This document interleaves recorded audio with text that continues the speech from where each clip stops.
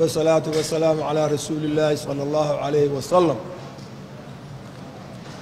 مدن قدوميها ولها وكيلة قلنا عبد الرشيد يوسف جبريل. مدن قدومية كحقين كوهوات عبد العزيز عبد العزيز عبد الله عثمان. مدن قدومية كحقين كاللواد إسماعيل محمد ورسامي.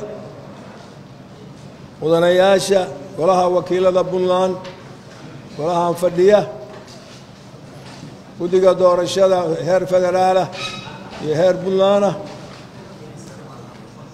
mudanayaasha u tartamaya doorashada aqalka sare ee puntland kaga qaybgelaya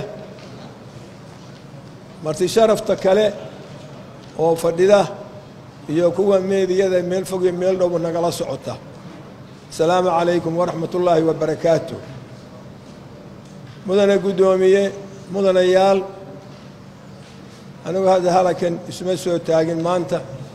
Inaan sidii nin cusub inaan c v ka sheekeeyo oo idhaahdo kaasaan qabtay kaasaan qabtay kaasaan qabtay.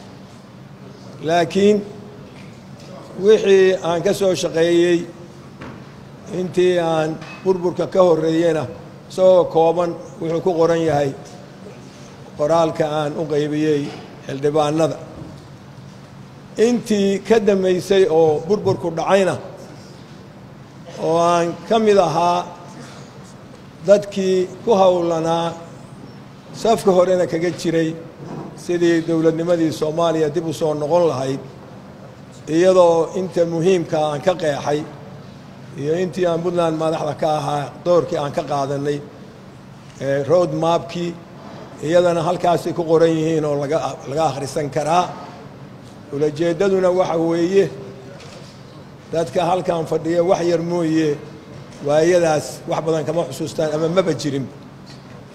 Inaan ay u noqoto refreshment wixii la soo maray wixii la qabtay intii burburka ahayd dariiqii la soo maray waddadii dheeraydoo la soo qaaday howlihii kala gaaray dhibaatooyinkii caqabadihii jiray meesha ay maanta marayso si looga shidaal qaato meesha hadda aan joogno wixii u dhiman oo u baahan in la dhammaystiro waxaan keliyoo ku darayaa waxa weeye inaan qeexo halakan maanta mudanayaal waxa aanu dooranaynaa ay yihiin wakiiladii golaha aqalka sare u tegi lahaa puntland oo baarlamaanka federaalka uga qaybgeli lahaa. Bacdama aan hore ugu jiray aanaan ka mid ahaa dadkii dastuurka ku meel gaarkaaba hadda yaalla wax ka sameeyey ka diyaariyey qoraalkaasna ay ku qeexan tahay sidii loo maray iyo qaabkay u ahayd. Aqalka golaha wakiiladu waxa weeye macluumaad ha u noqoto cidda doonaysa iyo cidda aan ka warhaynba waxa weeye ka sokow golaha sharci dejinta oo ugu dambeeya inkastuu isagana sharciga abaabuli karo inuu yahay ugu dambeeya wax ka oran kara uu ka mid yahay. Waxaa intaa dheer waa wakiilka dowladaha xubinta ka aha dowladda federaalkaah oo u fadhiya dowladda dhexe oo wixii dowladahaas dantooda ah u jooga meesha waxaa ka yahay oo kale nidaamka federaalka ah oo la qaatay waxaa weeye aqalka sare kan isku haya oo ilaaliya inaayan ku xadgudbin dowladaha dhexe ragga madaxda ka ah iyo aqalka golaha shacabka laftigiisa oo dowladdu ka dhisanto kalsoonidana siiyo oo aqalka sare isagu ka sarreeyo oo isagu hubiyo.